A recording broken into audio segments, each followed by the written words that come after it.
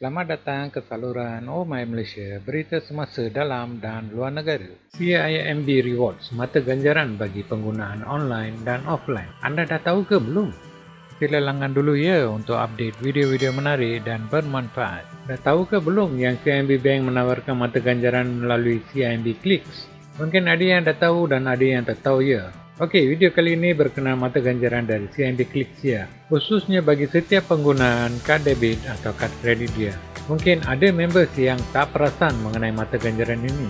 So, daripada biarkan begitu saja, baik tebuskan. Sekarang ni kan semua pakai kad debit dan kredit untuk transaksi offline dan juga online. So bank-bank sekarang ni merebut memberikan ganjaran berupa points supaya pengguna menggunakan perkhidmatan mereka macam extra service layer. So bukan hanya penggunaan online diambil kira tapi penggunaan offline pun termasuk juga untuk dapatkan mata ganjaran ni ya. Setiap mata ganjaran ni sebenarnya boleh ditebus ikut cita rasa kita sendiri. Apa yang anda nak tebus? Nak tebus voucher KFC ke? Atau voucher food panda ke atau voucher McDonald's ke anda boleh pilih. Dan tebus bila mata ganjaran anda dah mencukupi.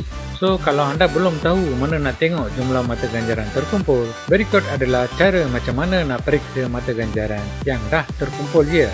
First kali login ke CIMB Click link ada disertakan dekat deskripsi ya. Anda boleh klik dan loginnya ataupun anda boleh gunakan browser anda untuk login. Lepas dah login swipe ke kanan menu dan pilih reward ataupun challenger di bahagian tersebut anda akan dapat melihat jumlah terkumpul mata ganjaran ya.